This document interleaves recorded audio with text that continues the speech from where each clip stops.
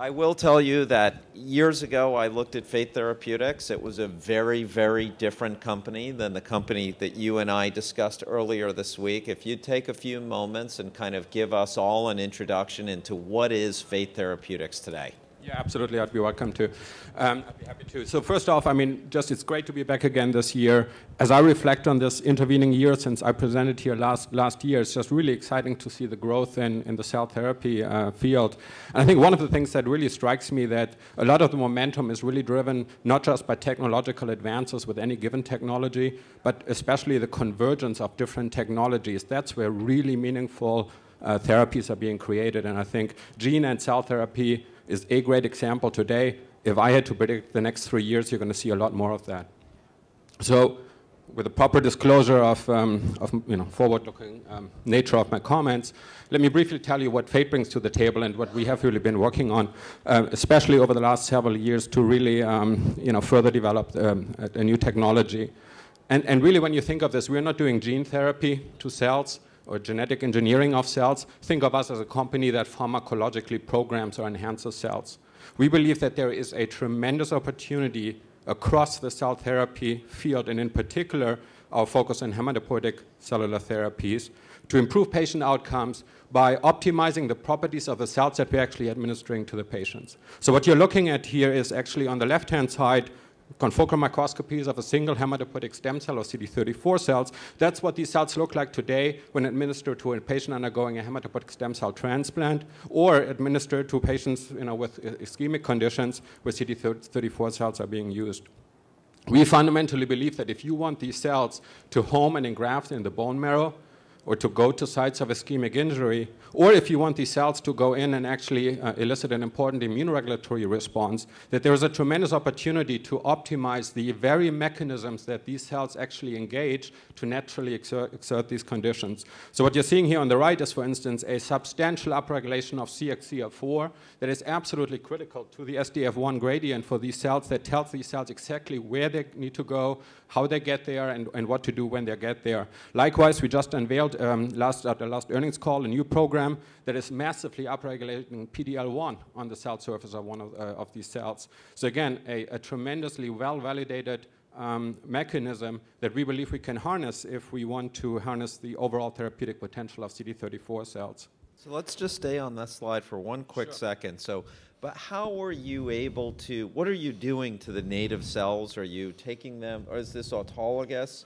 And you're applying an ex vivo process to the cell and then causing the upregulation of CXCR4 or the upregulation of PDL1. And you Yeah. probably saw Raul talking about Yes. using a, a plasmid to upregulate the expression of SDF1 Yep. in vivo. Help, just help me describe for Absolutely. me this process. Uh, so think of this as pharmacology. The, the beauty of this approach is that it's a very simple, versatile, broadly applicable approach to enhance the therapeutic potential of cells. So we are literally taking these cells, we are completely agnostic to the cell type. We are focusing on allogeneic cells today in the clinic, but there's absolutely no reason we couldn't do this with other cell types. Um, we're exposing these cells for a matter of hours to small molecule or biologic modulators um, alone or in combinations, we have seen very powerful results with dual or triple combinations. We have screening efforts that allows us to look for double and triple combination of small molecules. Within a matter of minutes, these uh, small molecules bind to known receptors on the surface of these cells. Gene expression profiles get turned on. Within a matter of hours, you see profound changes in the cell surface expression, cell surface protein expression. And in fact, what you actually see here visualized within just a matter of hours of exposing these cells to these small molecules, um, the upregulation of these proteins. Now, very importantly, the small molecules used alone or combination actually gets washed off. They never go into the patient. This is ex vivo programming of the function of these cells, and it is the pharmacologically programmed cells that you see here that are actually going to be administered to the patient. So you're you're really taking the. So did you say allogeneic cells though, or are these autologous? Yeah, so um, the clinical stage programs, we have established clinical proof of concept that a pulse treatment of cells with this approach can drive clinically meaningful uh, um, uh, benefit in the setting of of the allogeneic transplant setting well-established medical precedent, um, million procedures done, um, actually sort of hundreds of thousands in the allogeneic setting. Uh, and we have shown that we can improve engraftment outcomes uh, as well as we are seeing some very intriguing T-cell related mechanisms play out in the clinic. Early days, small numbers of patients, but we're very excited. What you're looking at here is CD34 cells as an example. I could show you very similar pictures of T cells where we up or down regulate cell surface proteins on T cells. So I assume that the, one of the target focus here is initially bone marrow transplants, better engraftments, but this technology is applicable way beyond that. Yeah, and if I could fast forward just to our pipeline, this gives you actually, I mean, this is just again this sort of very simple paradigm, matter of hours. We do this on site, very attractive cost of goods. Here's the clinical proof of, of concept data. Um, but really looking at the pipeline, uh, we have several development stage programs um, that are focused on applying this platform to improve outcomes in patients who are undergoing allogeneic hematopoietic stem cell transplant, both for hematologic malignancy, where we're in phase two, and also, and that's perhaps not fully appreciated, there's over 50 rare genetic disorders where allogeneic hematopoietic stem cell transplant, in particular cord blood transplant, has the potential for a one-time transformative intervention. And so one of our clinical uh, studies that's on tap this year, which we call the PROVIDE study, is actually focused on the first set of those inherited metabolic disorders or rare genetic disorders, and we are focusing on specific inherited metabolic disorders. And the really exciting thing for us here is we have shown that when we do the CXCR4 upregulation uh, on the CD34 cells, not only in preclinical models do we get more cells to more robustly go to the bone marrow and engraft, but we have also seen a several-fold higher proportion of CD34 cells and make it to the brain and provide long-term engraftment and cellular enzyme replacement therapy in these uh, conditions. Uh, and the kind of conditions we're talking about here are Hurler syndrome, Krabbe's disease, and various leukodystrophies, where, again, the power of cellular therapy is, and this was co commented on in an earlier presentation this morning, You've got to get enzyme to the CNS. And that's something where traditional enzyme replacement therapy is not going to cut it.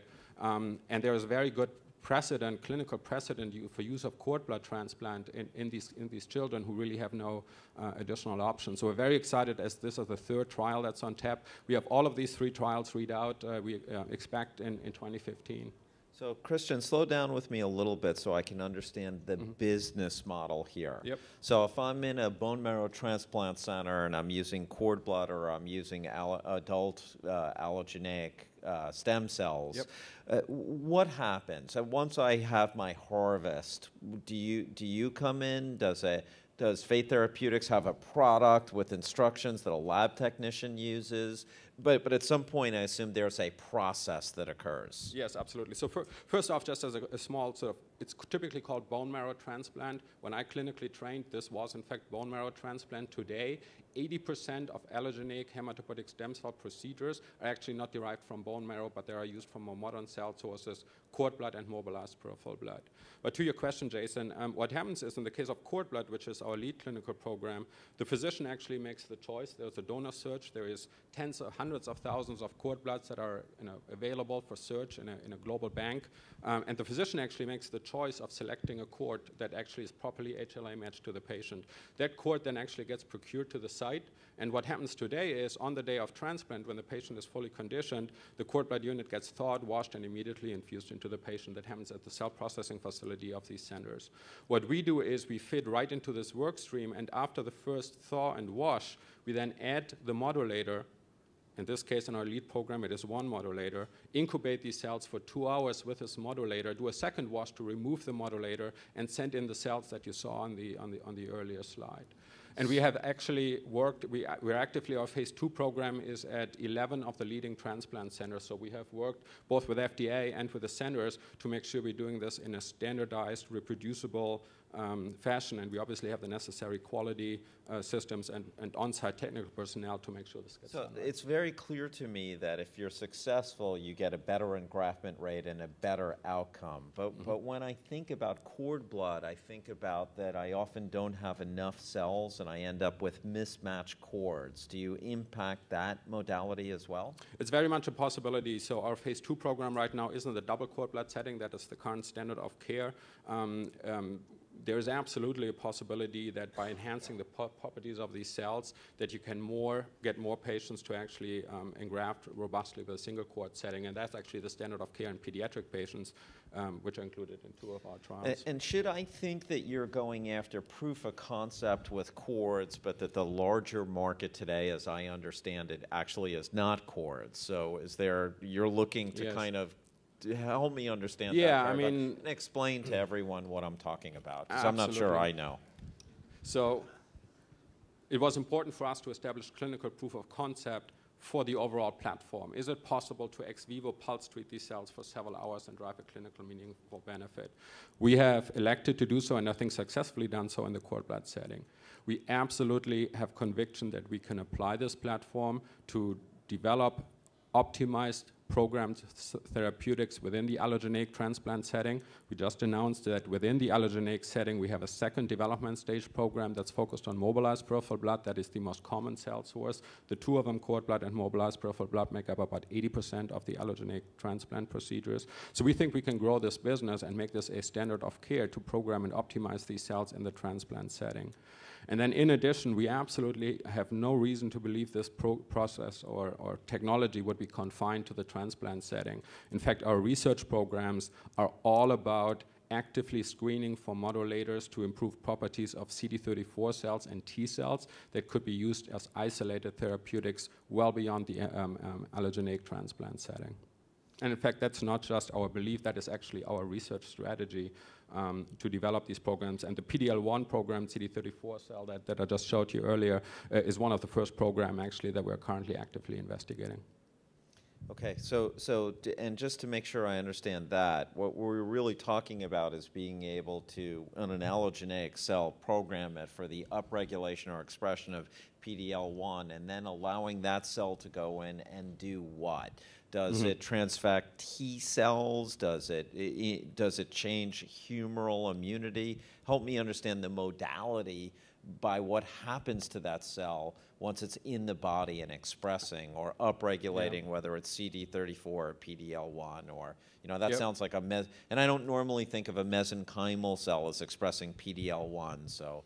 No, but I mean, I think as, as you well know in the field, there is certainly an interest in looking at the potential of cellular therapies, whether that's mesenchymal or, or hematopoietic in nature, to you know, have an important immune regulatory um, you know, property and potential therapeutic application.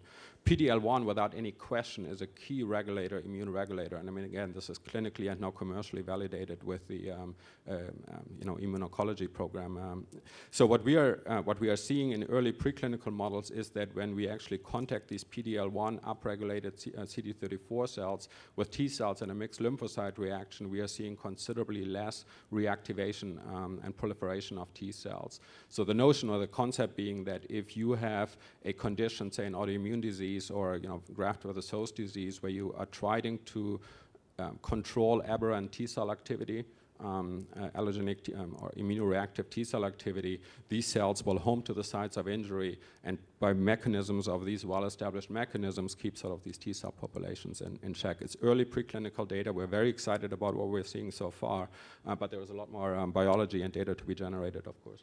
Okay, so thank you. And the remaining two minutes that we have left, close with me on you, we have this you know slide in front of us about milestones, but help me understand what do you hope to achieve in the coming year at Fate Therapeutics so that I should believe there's a value proposition in the company. Yeah, actually, I will go to the next slide for that. So when I when I look at sort of the long-term company that, that we intend to, to build and that we are well in the process of building, we have spent the last seven years really building a leadership position in cellular programming. We have a foundational IP estate that we have built. We have the platform technology, screening capabilities, and the like.